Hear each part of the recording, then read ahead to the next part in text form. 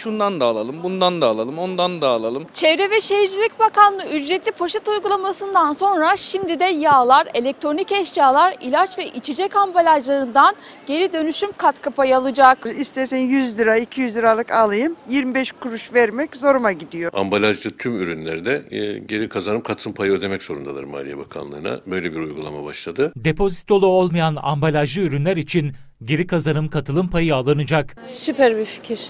Süper. Tabii bu uygulama firmalara bir kolaylık getirmesi açısından da eğer bu ambalajları geri iade ederlerse bakanlıkla mahsuplaşabilecekler. Çevre ve Şehircilik Bakanlığı'nın yeni uygulamasına göre A'dan Z'ye pek çok ürünün ambalajı değerli hale gelecek. Tüketici evine ya da ikametine uzak bir mesafede alışveriş yapmış ise, örneğin süt almış, yoğurt almışsa bunun ambalajını geri nasıl getirecek aldığı yere? Bu tür bir zorluklar söz konusu. Belki de bu tür uygulama tüketicinin evine yakın, işte bakkal uygulaması dediğimiz eskiden evlerimizin altında bakkallardan alışveriş yapardık.